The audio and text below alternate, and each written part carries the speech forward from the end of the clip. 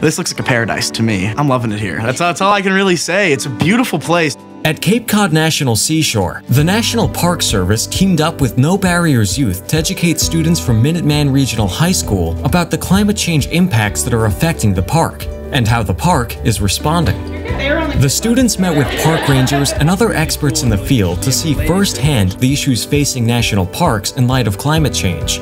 My name is Brian Courtney Jr. I'm from Minuteman Regional High School. Arrived here on the Cape, I was overwhelmed with the amount of beauty that I see in this place. It's very green. I was surprised about how, how green it was. I didn't expect there to be as much marsh as there was, intertwining rivers and large pieces of peat and moss. It's really, really cool. I like the salt marshes. The salt marshes are my favorite thing because they're breeding grounds for all sorts of fish. So you can find monkfish, baby cod in there. You can find all sorts of stuff. My name's Colin Kelly. I'm a junior in the Environmental Science Technology program over at Minuteman High School in Lexington, Mass.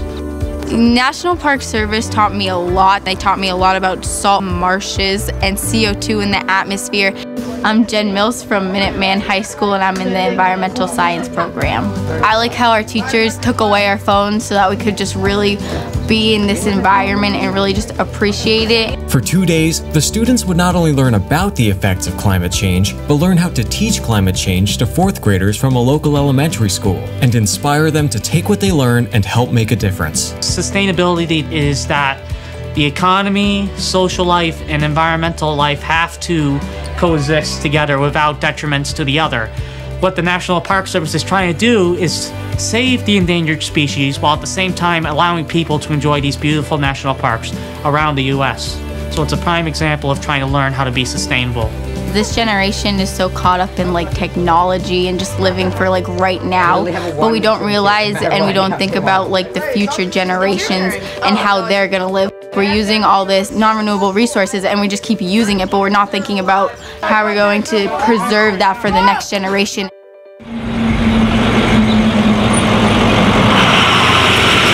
On the third day, fourth grade students from a nearby elementary school arrived at the national park, eager to learn about climate change from their newly minted scientist teachers. Around 9 o'clock, the fourth graders came, and then we split right into groups, and I was in charge of talking about CO2 in the atmosphere. We played a lot of games with them and I made them be uh, carbon dioxide atoms and their head was the carbon and then their arms were the oxygen atoms and I made them run around. No Barriers Youth gave me this fantastic opportunity to go out and help these fourth graders get out of the house, get out of the classroom, and go on do some hands-on stuff with one of the best ecosystems in the world, one of the most diverse ecosystems in the world, which is the salt marsh. It's so like crucial to be able to know of these things earlier in our generation so we can teach further generations. I'm Sage Romano. I go to Minuteman High School and I'm in the environmental science program. I'm so grateful for the National Park and No Barriers for them being able to put this all together for us and to give us this opportunity to be able to teach the fourth graders. No Barriers Youth taught me that teams are very important and you really need a team to be supportive of each other. My name is Allison Buchler. I'm a junior in the environmental shop at Minuteman High School in Lexington, Massachusetts.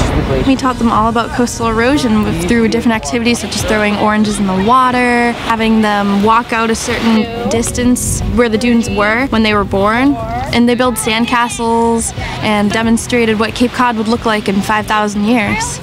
It was very good to see them interested in what we were teaching them and that they were interested in what Cape Cod erosion was all about. I want to get more involved with my community at school and from my town, teach them about the effects of global climate change and erosion and all the greenhouse gases that are in the atmosphere caused by humans. I'm also going to join the Harwich Conservation Trust, which is down here on the Cape, and I'm going to do some more conservation work with them and see what I can do and help them with my knowledge of erosion.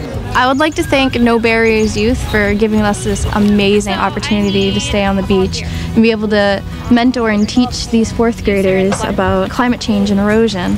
It's been a great experience and I'm so thankful that they were able to bring us here. I would also like to thank the National Park Service for teaching us all about the salt marshes and coastal erosion and climate change. It's been a great experience. It's taught me a whole bunch.